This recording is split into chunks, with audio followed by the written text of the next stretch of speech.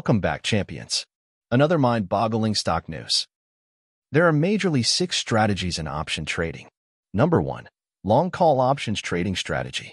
Number two, short call options trading strategy. Number three, long put options trading strategy. Number four, short put options trading strategy. Number five, long straddle options trading strategy. Number six, short straddle options trading strategy. In this video, we will talk about short call options trading strategy. Let's begin. What is short call strategy? A short call means selling of a call option where you are obliged to buy the underlying asset at a fixed price in the future. This strategy has limited profit potential if the stock trades below the strike price sold, and it is exposed to higher risk if the stock goes up above the strike price sold. A short call is an options position taken as a trading strategy when a trader believes that the price of the asset underlying the option will drop. Therefore, it's considered a bearish trading strategy.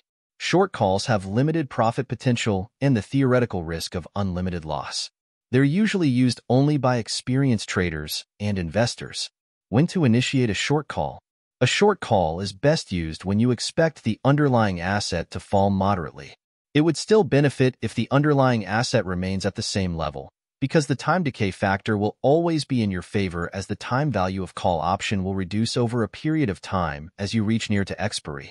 This is a good strategy to use because it gives you upfront credit, which will help you to somewhat offset the margin.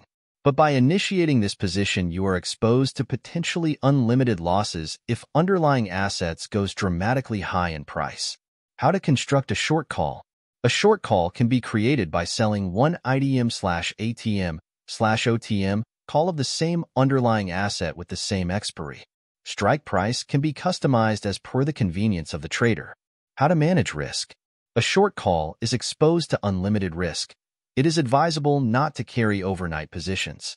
Also, one should always strictly adhere to stop loss in order to restrict losses. To conclude, a short call strategy can help in generating regular income in a falling or sideways market, but it does carry significant risk and it is not suitable for beginner traders. It's also not a good strategy to use if you expect underlying assets to fall quickly in a short period of time. Instead, one should try long put strategy. Did you find the information helpful? Let us know in the comments.